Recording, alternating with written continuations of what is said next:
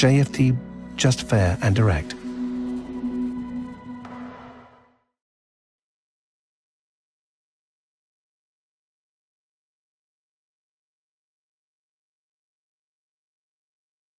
Good morning, everyone, and welcome to JFD's weekly market outlook webinar for the week September the 20th until September the 24th.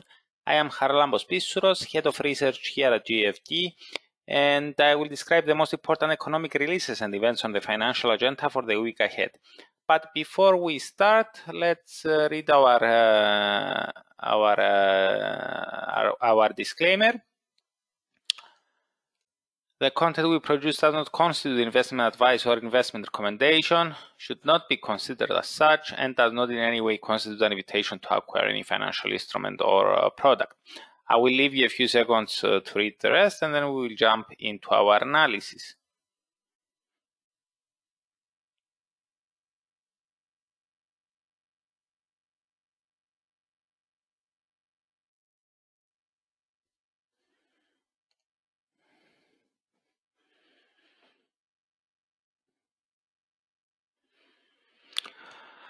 Okay, central banks will make a comeback this week with four major ones deciding on their respective policies. Those are the FOMC, the Bank of England, the Bank of Japan, and the SNB. Our own view is that market participants will pay more attention to the FOMC, excuse me, to the FOMC and the Bank of England, as the Bank of Japan and the SNB are widely expected to stick to their dovish uh, narratives. We also have the Canadian elections as well as the preliminary PMIs for September from the Eurozone, the UK, and the US. Now, let's take things from the beginning. On Monday, we have no major we have no major uh, data releases scheduled on, on on the economic agenda. However, Loonie traders may lock their gaze on the Canadian federal federal elections um, scheduled for uh, the day. Seeking public approval for his handling on the pandemic, Prime Minister Justin Trudeau called for elections two years early. That said, Trudeau had struggled to explain why an early election during the worsening uh, during the worsening fourth wave of uh, the virus was a good idea, and thereby saw his popularity tumbling with uh, the opposition Conservative Party wanting to bring under control the massive spending uh, of Trudeau's uh, government.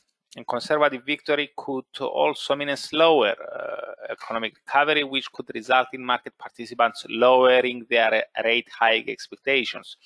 So, in our view, a government switch um, in Canada could prove negative for the local currency. Now, on Tuesday, Chinese markets will stay closed due to the Mid Autumn Festival. As for the events and the data during the Asian session, we get the minutes from the latest RBA meeting, and later in the day, the US building permits and housing starts for uh, August are due to be released with the RBA pushing uh, the date for its uh, next uh, policy review from, no, from November 2021 to February 2022, we don't expect to get much new information from the minutes. Therefore, we don't expect the Aussie to react much on uh, this on this release. As far as the US data is concerned, building permits are forecast to have uh, slid somewhat, but housing starts are expected to have inched uh, slightly up. Now, on Wednesday, the spotlight is likely to turn to the to the FO, FOMC monetary policy decision. This is one of the bigger meetings which will be accompanied by updated economic projections and a new dot plot. Following the weaker than expected August employment report, market participants scaled back their expectations that the Fed could indeed start tapering its quantitative easing purchases this year. However, a couple of weeks ago, Several policymakers signaled that they still expect to begin the process before the end of this year, despite the slowdown in jobs growth seen in August, reviving, reviving hopes on that front. What's more, the CPIs for August slowed somewhat but remained well above the Fed's object, objective of 2%, keeping questions on whether the inflation surge is transitory well on the table. Therefore, with uh, all that in mind, it would be interesting to see whether this is the, uh, the opinion held by the majority of policymakers and whether there will be any strong uh, clues on the possible timing of uh, beginning the tapering process. In our view, anything pointing to a November tapering decision may support the US dollar further and perhaps extend the latest setback in equities. Market participants may also be eager to find out whether this could also result in earlier rate hikes.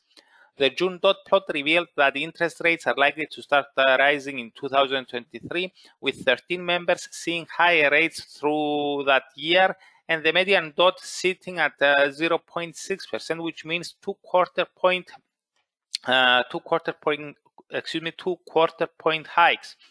However, Seven officials saw at least one hike in 2022, and if that number grows this time around, it could uh, consist of another reason for more USD strengthening and further retreat in uh, stock uh, indices. Now, ahead of the Fed decision, we have another bank deciding on monetary policy, and this is and this is the Bank of Japan.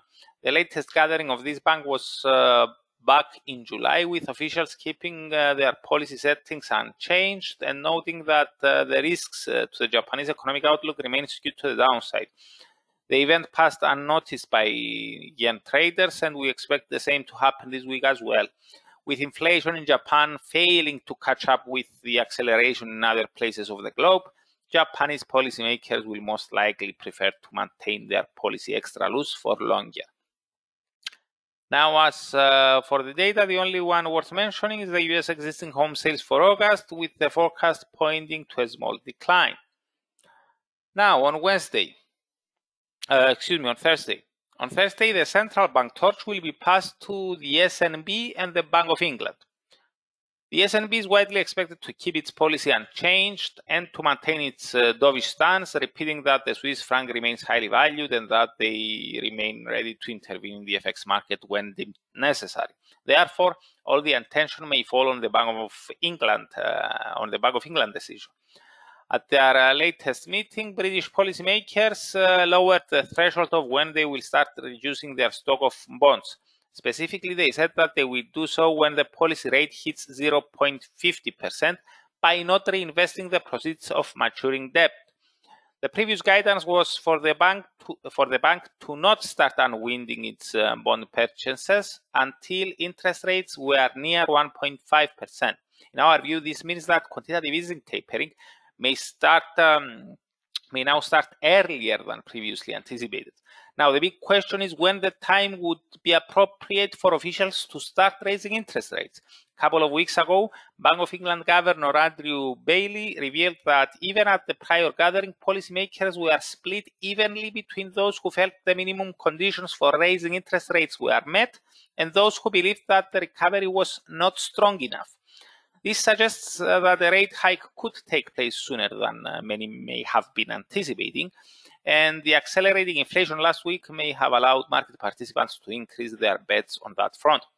Therefore, it would be interesting to see whether we will get any clear hints or, or clues on uh, when officials intend to start uh, raising interest rates. Recently, Bank of England uh, MPC member Michael Saunders said that interest rates may need to start raising, um, start rising next year view which, uh, if shared among other members as well, could uh, could help the pound, uh, excuse me, could help the pound march higher. This point, it's important to note that in an August Reuters poll, no change was expected until 2023. So expectations for a Bank of England rate hike were brought forth and could uh, and could come even forward uh, if we have a hawkish Bank of England this Thursday. Now, besides the SNB and B and the Bank of England, we will also, we will also get the, pre the preliminary PMIs for September from the Eurozone, the UK, and the US. In uh, the Eurozone, both the manufacturing and services indices are expected to have declined somewhat to 60.5 and 58.7 from 60.8 and 59 respectively, which will take the composite index slightly down to 58.8 from 59. Despite the slowdown, this uh, will still reflect a decent pace of expansion, and thus we don't expect such results to weigh on the euro. That said, deeper declines could raise questions as to whether the recovery seen after the reopening was, uh, excuse me, uh, as to whether the recovery seen uh, after the reopening has reached a ceiling and perhaps uh, push the common currency um, lower.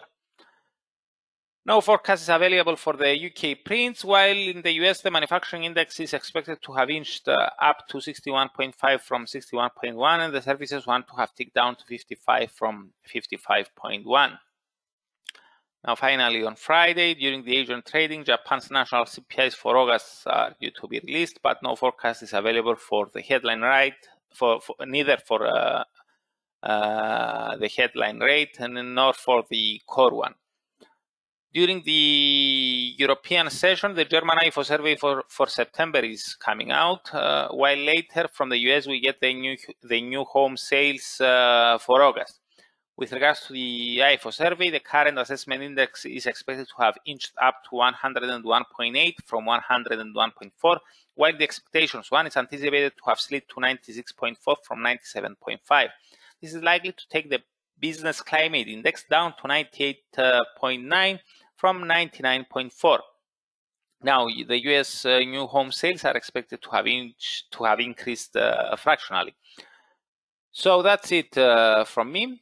Thank you very much for watching and um, for watching and listening. If, I hope you have a great week and I'm looking forward seeing you here again next Monday. If you are interested in more detailed and frequent analysis, you can find me on our YouTube channel from Tuesday to Friday at around 8 o'clock a.m. GMT. So goodbye and, uh, and have a nice day.